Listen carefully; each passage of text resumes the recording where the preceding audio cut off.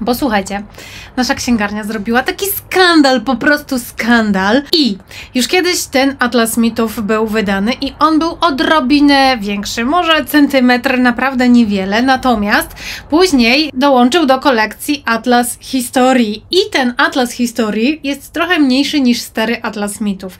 Ale potem nasza księgarnia, słuchajcie, wydała nowy Atlas Mitów, który jest równy równiusieńki. I ja wiem, że to jest skandal, bo niektórzy mają te stare mity, więc sobie dokupili Atlas Historii, on jest trochę mniejszy i to jest skandal, bo nierówno stoją na półce. A jak coś stoi nierówno na półce, można się wkurzyć? Można. Także nasza księgarnio, nie róbcie na więcej takich numerów. Ale oprócz tego bardzo Wam dziękujemy za to, że wydaliście takie cudowne książki. O Atlasie Historii ja już opowiedziałam. On ma swoją całą, osobną, bardzo fajną recenzję, więc y, wejdźcie, wskoczcie, zobaczcie i skomentujcie. Dajcie mi znać, czy Wam się podoba. A dzisiaj zajrzymy do Atlasu Mitów.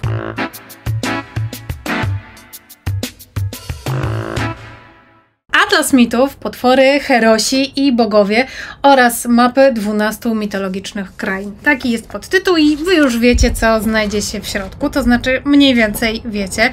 Mamy tutaj, zobaczcie, jak pięknie rozrysowaną właśnie całą mapę, która jest jednocześnie spisem treści, więc już będziemy wiedzieli, do jakich krain zaglądamy. Na przykład będą to mity irlandzkie, bardzo mi się podobały, jak czytałam. Będzie Ameryka Północna, będą oczywiście mity Azteków, będą egipskie, greckie, nordyckie, słowiańskie, hinduistyczne, japońskie, no najróżniejsze tutaj mamy. Bardzo ważny i bardzo poręczny i wygodny jest rozdział, który pokazuje jak czytać książkę, bo zobaczcie, autor nam tutaj wszystko dokładnie opowiedział. Ja oczywiście na blogu Aktywne Czytanie zostawiam też i zdjęcia i recenzje. Mamy wstęp, który zawiera odpowiedź na pytanie, gdzie, czyli na przykład y, tereny, gdzie zamieszkiwały dane kultury. Mamy mapy, zaraz Wam je pokażę, które wizualizują świat. One też mają numerki, więc tutaj nikt się nie pogubi. Mamy też strony z opowieściami. I to są no właśnie te wszystkie legendy, które znamy lepiej lub mniej. Autor nam tutaj tak bardzo fajnie zresztą we wstępie mówi o tym, że to, że ma dzieci małe, czy miał jak pisał, sprawiło, że mógł się zagłębić ponownie w ten świat legend i baśni i mitów i sprawiło mu to ogromną frajdę, więc dzieci były taką troszkę wymówką, troszkę takim motorem napędowym do tego, żeby e, właśnie się zagłębić, no bo to jednak musi się, wiecie, zgadzać z podaniami i z tym, co my już znamy. I jest jeszcze mnóstwo informacji o artefaktach i o stworzeniach mitycznych najróżniejszych po każdym rozdziale. Więc na mitach greckich, od których zaczął autor, pokażę Wam, jak to wygląda w praktyce. Mamy cały, cały rozrysowany świat. I oczywiście, że możemy oglądać postacie i wspomniałam, że one mają swoje numerki. Którykolwiek weźmiecie, nie wiem, zobaczycie tutaj, co to może być za typek, kto to tutaj jest. Przy nim jest numerek 5, więc bez problemu można sobie po prostu przeczytać, że to jest Apollo i kilka informacji. Ja Wam przeczytam, żeby było wiadomo, jakie to są informacje. Bóg sztuki, łucznictwa, wróżb oraz, co dziwne, zarazy. Uwielbiał muzykę i poezję, ale postrzał z jego łuku wywoływał chorobę. Mhm, dokładnie tak było.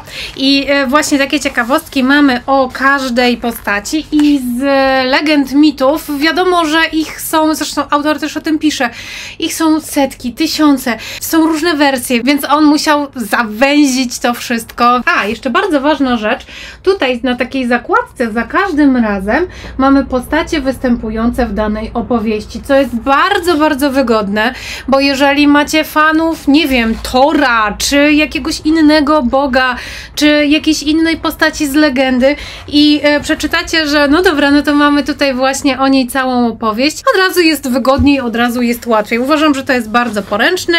Są też oczywiście ciekawostki. Mamy tutaj drugą opowieść, to była Wojna Tytanów. W ogóle te tytuły tutaj e, są bardzo zabawne. Widać, że autorowi nie brakuje poczucia humoru i że w ogóle bawi się tymi mitami i legendami. I mamy rodzinkę.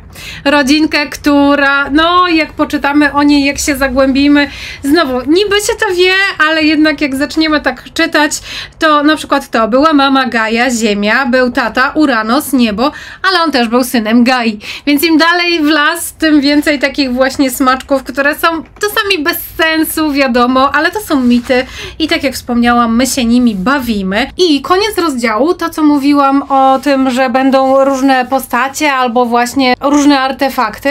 Tutaj mamy takie przyporządkowane Grekom. I tak dokładnie idziemy przez każdy rozdział.